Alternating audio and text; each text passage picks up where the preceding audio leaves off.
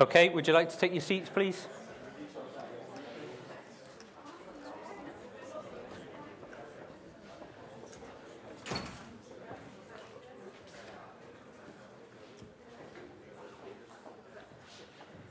Okay, so this next half an hour lecture is going to be on crowdsourcing. Um, and just out of interest, is anybody here signed up to a crowdsourcing website? So we have one member of the crowd. What are you signed up for? Otis. What, sorry? Otis. Otis. Oh, okay. Um, what, what do you provide? Outsourcing, this is one resource programmers. Okay. Are you outsourcing or are you providing? I, mean, been signed up to something and checking it out. Okay, right, okay. So nobody here has used a crowdsourcing website? That's quite surprising, okay. Well, maybe some of this might be quite new to you then. So, somebody uh, hopefully knows what crowdsourcing is. Uh, any, any offers? Anyone like to uh, offer a definition of what they believe crowdsourcing to be?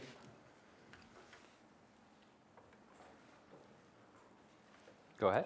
You can put out a task uh, online or wherever you want to, and then whoever can uh, uh, solve the task uh, gets the money for solving it. It's, it's kind of like open innovation you said before, but just leaving it up to the to random people. It's ba- basically, it's a, it's a form of open innovation where you can put a task out, as this gentleman said, to the crowd and let them do the work for you in return for some financial reward.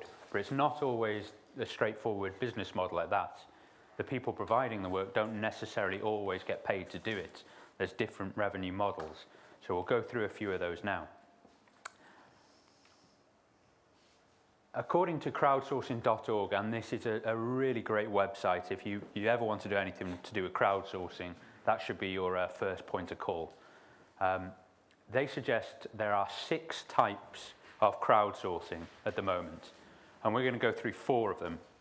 The distributed knowledge crowdsourcing are things such as um, the Oxford Dictionary, which I example which I gave in the last section, also Wikipedia, is uh, distributed knowledge crowdsourcing. Um, and then there are also various tools, and I think perhaps Podio might fit into uh, this tool section. But what we're going to go through today is crowdfunding, which comprises of 22% of the crowdsourcing websites. Crowd labour, which is about 8% in population of the websites. Crowd innovation, which on the crowdsourcing website was termed open innovation, um, but I, I think that conflates the idea of what open innovation is.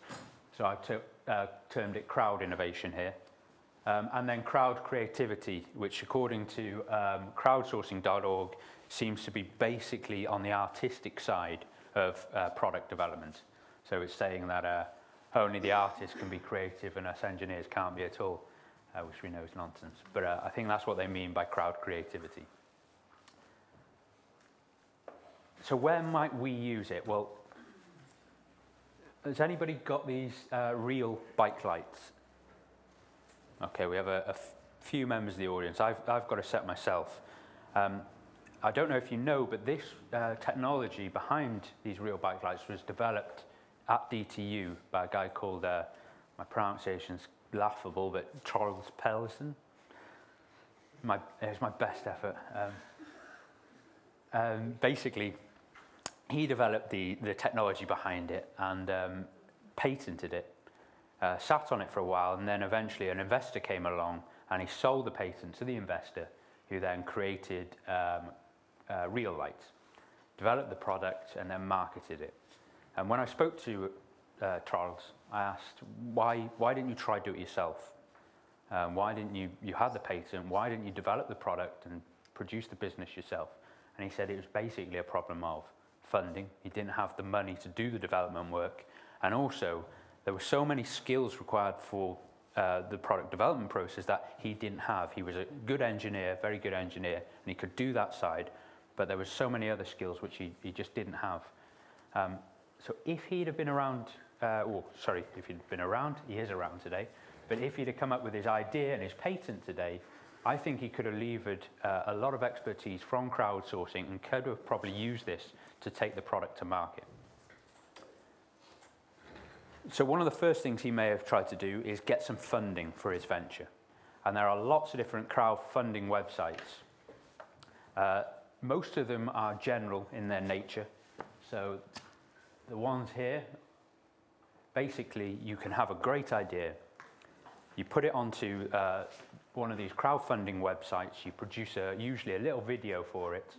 Um, you say how much you want to make or raise and how long it's going to take you to raise it and also tell the people who are backing you what the incentives are for giving money. So crowdfunding relies on lots and lots of people from the crowd pledging small amounts in order to, for you to reach your uh, funding target. Um, there are some more specific crowdfunding websites, so the technology-orientated ones like Funder Geek and App Funder these, these don't fund artistic style projects, they fund technology specific projects. Uh, so Geek Funder is all technology and App Funder is just uh, mobile phone or, or tablet app based technology. And then on the other end of the spectrum, we have the artistic side of crowdfunding. So uh, New Jelly and Rocket Hub will just be uh, finding funding for music, for art, um, and so on. And then down at the bottom here, Start Some Good and MyC4. And I chose MyC4 because this is a, a Danish crowdfunding website, I, think. Um, and they're produce, uh, producing funding for social entrepreneurship. So these are projects which are good for the community, not necessarily going to make the backer any money. Uh, probably the oldest one is Indiegogo, uh, but the one we're going to take today as an example is Kickstarter. So if you go onto one of these crowdfund, oh, I must uh, say, before you get too deep into the uh, uh, crowdfunding, some of them require you to be a US citizen.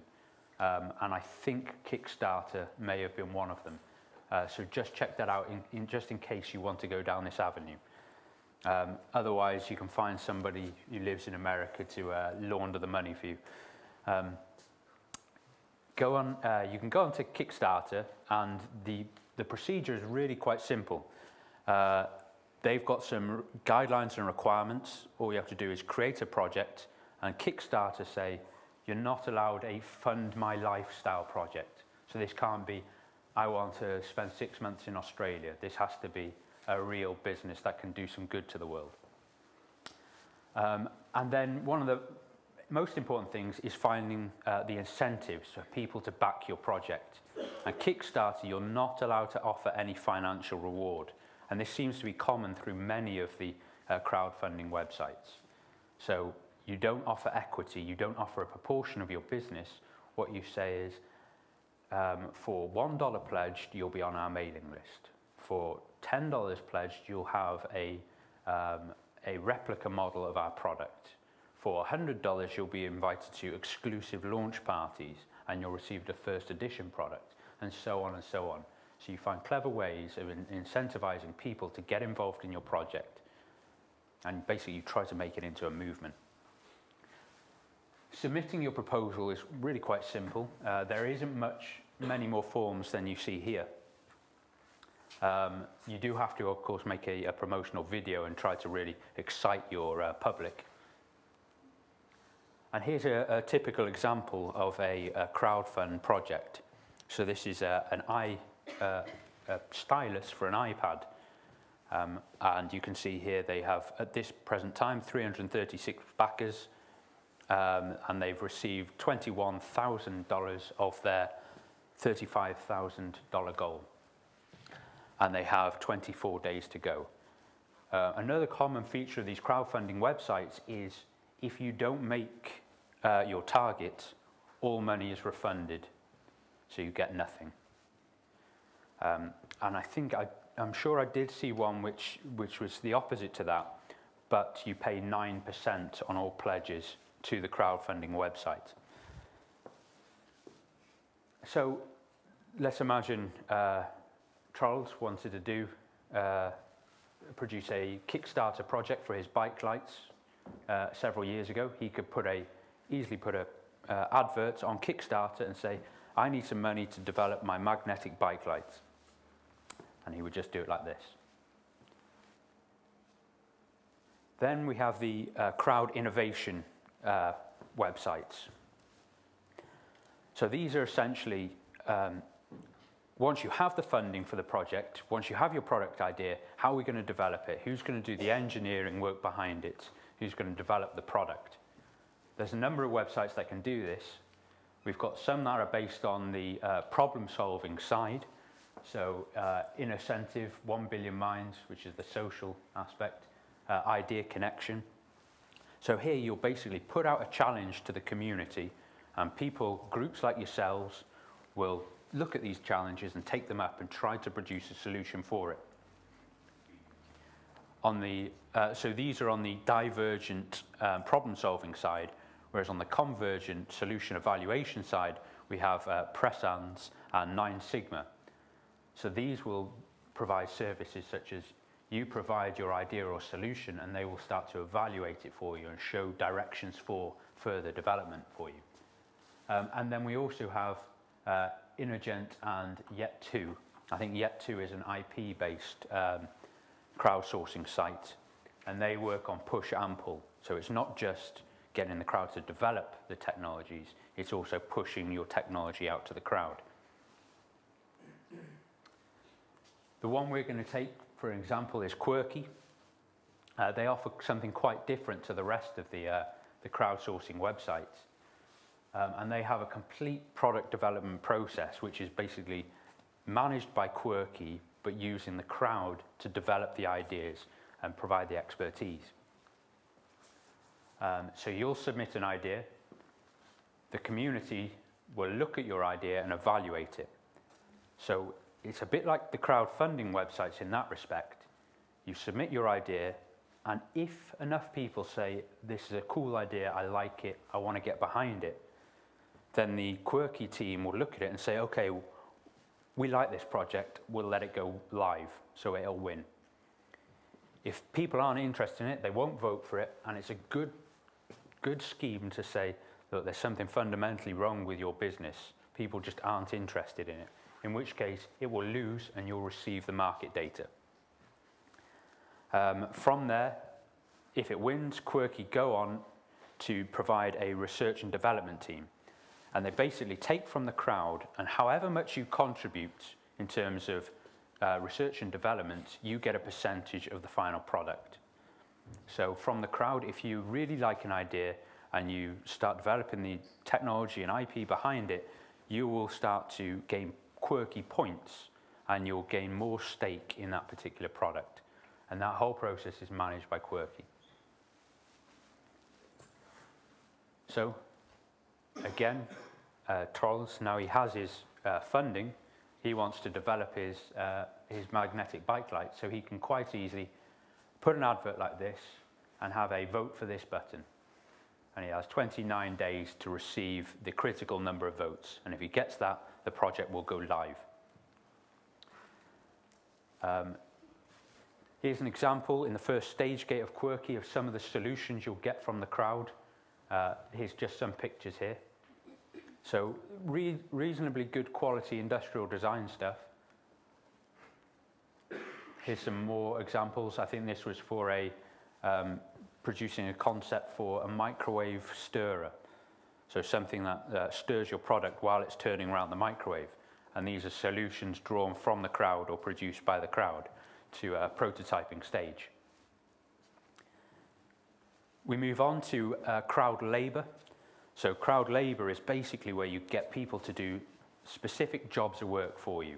And it might be debugging, it might be advertising and testimonials, proofreading, web design, graphic enhancement, uh, website testing, surveys, data entry. Um, you can get people to do personal adverts for you. Um, and this last weekend on the Sunday, um, I was sat in watching uh, Wales versus uh, Ireland in the rugby, uh, first game of the Six Nations for Wales. And uh, of course, Wales won. I was delighted.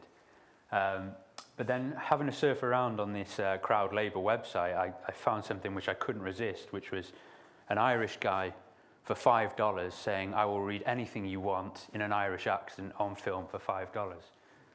So I thought, right, I'll give that a go. He says he can deliver it in 24 hours.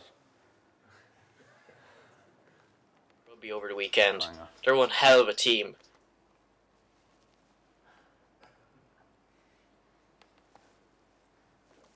Wales gave us a damn beating in the rugby over the weekend. They're one hell of a team.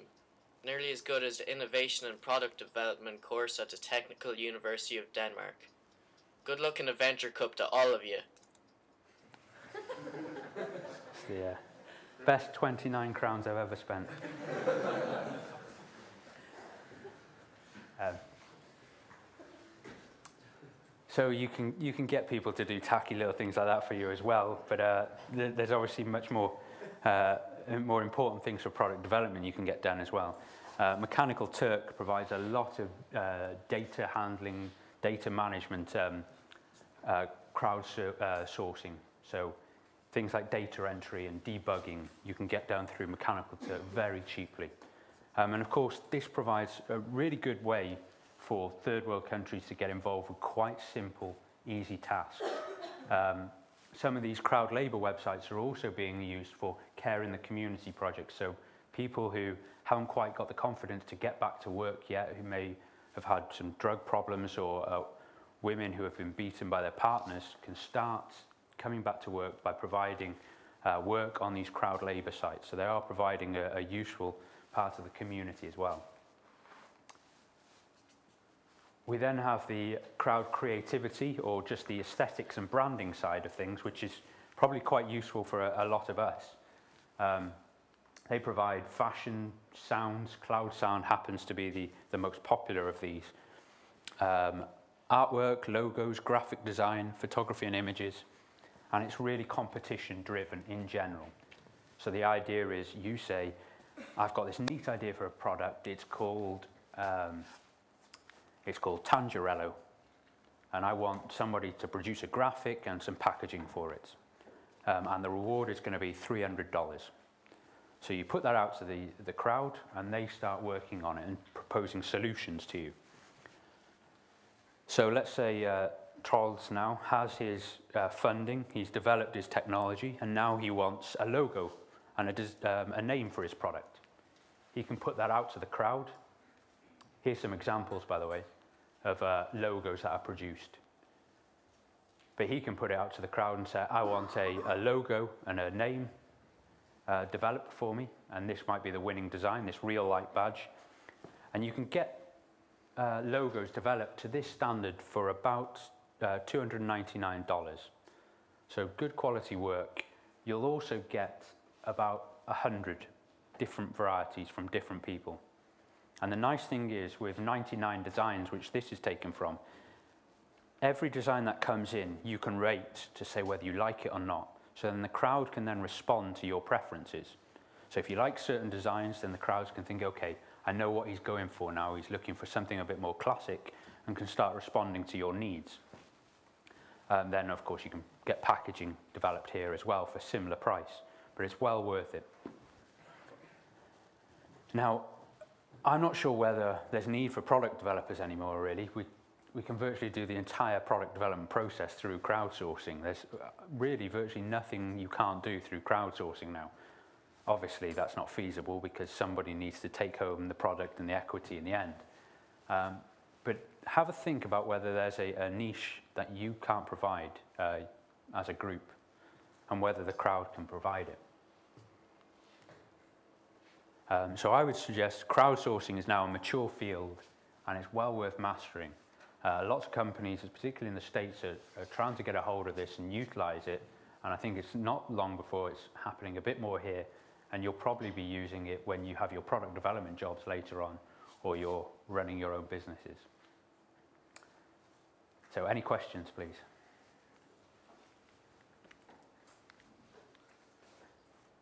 At the back. What about patents and uh, uh, you talked about non-disclosure agreements when talking to companies. What about when you're talking to the crowd? What, what's keeping them from taking your idea and developing them on their own? Yeah, there are Um, there are non-disclosure agreements through quite a lot of the websites. Um, and the crowdfunding model, uh, sorry, the crowdsourcing model is generally the person who comes up with the idea will try protect it first and then send it out for development. Um, but some of the, uh, the crowdfunding web, uh, the crowdsourcing websites actually have agreements built into them. So nobody can actually provide content to them or see them unless they've signed certain agreements. Um, but it, it certainly is an issue. And it's much better for uh, designs which are non-IP sensitive, I'd say. But on the flip side, it does the opposite. So you want to get funding. You're not just funding, you're also uh, advertising your design and product. And all of a sudden, lots of people see this video of this cool new product which is being developed, and you've already started to establish a market base for yourself. So where you might lose out on IP and you might lose to some competition, you're also gaining from the marketing side. And also you get really valuable feedback. So depending on how many people have pledged or, or backing you or interested, you know how popular your product's going to be. You may receive $20,000 worth of funding. Imagine how interesting that is to an investor to say, well, we've already had 20,000 people pledging a dollar for this project just from goodwill. So it's, it's a really good resource to get uh, basically the feel of the community on how much they desire or want your product. Any other questions? Okay. So now I'd like you to think about how you're going to apply this crowdsourcing to your projects. Um, so in your project teams, um, I'd like you to discuss a crowdsourcing strategy, what you might want to utilize the crowd for, where there are holes in your current product development team. Um, so you've got 15 minutes, off you go.